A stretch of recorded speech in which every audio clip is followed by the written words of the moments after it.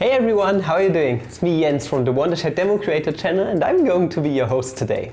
Currently, during the whole pandemic, many teachers and also professors and doctors at university have a whole lot of problems when it comes to teaching their students. Main problem stems from the fact that we as teachers, I'm a teacher myself, can't teach personally the students right now, but we have to resort to remote teaching. And if you are also a teacher out there, I'm going to show you today how you can easily create remote teaching tutorials or lessons in general using our product Wondershare Demo Creator and a few easy tools like taking your own camera, a microphone and the like. Also, if you're new to the channel, don't forget to subscribe to the Wondershare Demo Creator channel as well as to click the little notification bell down there. This way, you're never ever going to miss out on any new features or updates or videos on Wondershare Demo Creator ever again. So definitely make sure to become a member of the channel. So here are a few essentials that you definitely need to really connect nicely with your viewership, with your students for example. So the first item that's going to be the bread and butter of your presentation is next to your laptop and your PowerPoint presentation or maybe your Blackboard like I have in the background, a nice microphone. It really doesn't help your students if they can only see your face, but they also need to hear what you have to say. So definitely make sure to get yourself a nice microphone like this Razer Siren Elite one right here or a lavalier microphone. It really doesn't suffice at all if you use your laptop microphone. They are okay if you only want to do like Skype calls, personal ones, but if you really want to communicate nicely with your viewership, those aren't good. Those built-in microphones aren't good in general, so definitely make sure to get yourself another external one. Also, what is a good presentation without a smiling face that's going to motivate you all the time? For that, you could get yourself either the camera that's built into your laptop and if it doesn't have one, or if it isn't good, like on my Asus ZenBook Pro Duo, then make sure to get yourself an external one, like this Logitech one. They are pretty good, come at a pretty cheap price tag, and this way all your viewers can see what you are doing. And last but not least, you have to choose a suitable course making software. With that, I mean, you need to get yourself some kind of recording program. And most recording programs out there actually have a pretty steep learning curve. You have to invest a lot of time to get things going, to get the ball rolling, to really find out the feel that's behind those programs. But Good thing is we are on the Wondershare Demo Creator channel and Wondershare Demo Creator is actually the perfect tool for you to record and edit your courses very nicely and easily without any steep learning curve at all. And hence, if you do not yet have Wondershare Demo Creator, make sure to check out the link at the top of the description. There you can download the free trial to the program. It's an excellent program and it has such a lot of features. You can't even use all those features in your presentation, trust me. It's a good program. And after you're done, getting yourself all the equipment that you need. Make sure to connect it to your PC and then we can dive into Wondershare Demo Creator, shall we? After you're done installing Wondershare Demo Creator, if you didn't have it already, make sure to start it and now you can click on new recording if you don't have a recording already. So you want to record your online lesson in some way. I for myself used my master's thesis just now on the um, fractional derivatives of the Riemann zeta function and Dirichlet eta function. And now what we can do is we can set up what we want to use at first and what part of the screen we actually want to record.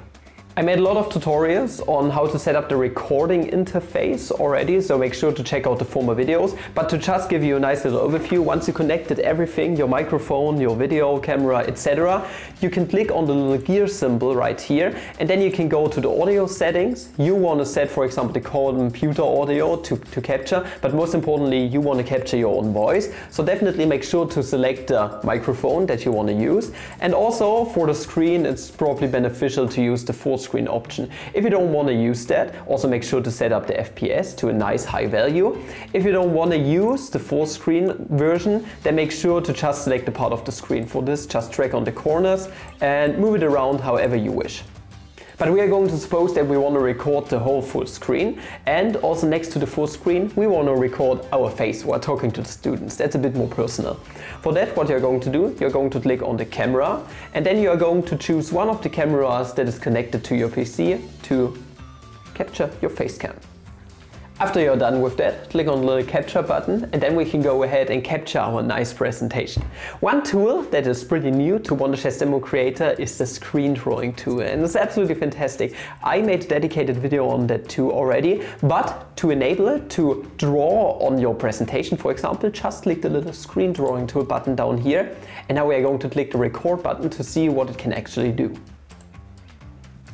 Now one pro tip from me is if you do remote teaching, sometimes you can get stuck with your thoughts. This also happens a lot while I create videos for Wondershare Demo Creator. But the good thing is, if you are not doing a live transition currently, you can always just pause your recording, take a deep breath, take a piece of cake, something, eat something, drink something, and then once you're done, taking a little breather, go back to your recording and start over. You can always cut out parts and you can always edit a bunch of stuff in the built-in editing interface of Wondershare Demo Creator. So don't be shy, try your best and retake parts if you're not satisfied already. So when recording, what you want to do is minimize this window too. So what you need, just need to do is press the minimize button right here. And if you really feel like pausing your video to take a deep breath, then just make sure to click the F9 button and if you want to resume your recording, just simply press F9 yet again to continue with the recording. Now, in the screen drawing tool, what you can do is you can draw into your presentation, which is pretty brilliant if you ask me. So what you can do is you can highlight a bunch of parts if you really want to explain a certain part more thoroughly, or you can highlight a bunch of stuff. So you can draw into your presentation very nicely also, you can use a text marker, for example, in different colors and different sizes, and you can add additional text. Adding additional text can be pretty beneficial and yeah, can help your presentation out a lot. And there are many other tools that you can use here, but the most important part is that you can really nicely annotate anything that you really want, and also you can put it into boxes, etc. It's a very nice and refined tool that Wondershare Demo Creator has built in. It's really cool. Other than that, once you're done with your presentation, make sure to click on the stop button up here or press the F10 button and then Wondershare Demo Creator is going to drag you over right into its editing interface. Once you're in here, you're going to grab your recorded file and drag it down here into the timeline. What you're going to notice is that you only get one timeline relay down there. This is because our audio and video file are currently melted, they are attached to each other. To detach the audio timeline or the audio layer in general from your video layer, make sure to right click onto your complete layer and click on audio detach. This way you can separately edit your video and audio, which is quite handy in many situations. Sometimes it can occasionally happen that maybe after you're done recording the video, you notice, oh, I forgot to say something. If you still want to add some kind of audio to your recording, what you can do is you can click on the little microphone button that is here. And if you click on it, you're going to be able to record a separate piece of audio once again. It's an audio overlay which you can use as a new layer and put it over another part of a video or maybe just a screen capture of a part of your presentation, for example. Once you're done editing, you can just start a regular exporting process by clicking export up here. You can either share it on YouTube immediately or you can save it locally and upload it to another um, part of the internet, for example Vimeo or your university's homepage or something. And this basically concludes the overview of how you can create a video course for your university or your students at your school as a means of doing remote teaching right now, which is really, really handy and Wondershare Demo Creator makes it really easy for you.